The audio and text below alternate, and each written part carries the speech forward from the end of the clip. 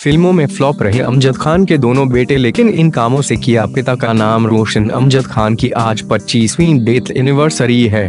शोले में गब्बर के किरदार को निभाकर अमजद खान असल ज़िंदगी में ही गब्बर के नाम से मशहूर हो गए थे। गौरतलब है कि अमजद खान की फैमिली का फ़िल्मों से पुराना नाता है। कम ही लोग जानते हैं कि अमजद खान के पिता जयंत जकारिया खान भी फ़िल्मों में विलेन का रोल कर चुके हैं। हालाँकि अमजद खान के बड़े बेटे शादाब खान अपने पिता जैसा करिश्मा नहीं दिखा पाए और उनकी ज़्यादातर फ़िल्में फ्लॉप रही।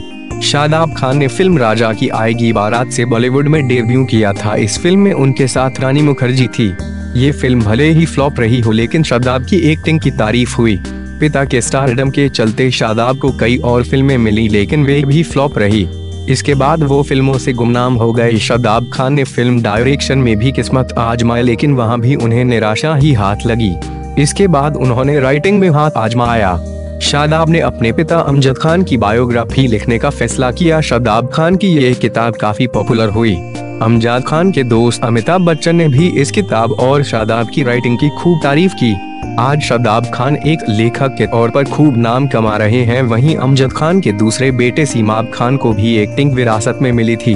उन्होंने हिम्मत वाला और हाउसफुल दो में साजिद खान को असिस्ट किया लेकिन उनका मन नहीं लगा। वहीं अमजद खान के दूसरे बेटे सीमाब खान को भी एक्टिंग विरासत में मिली थी।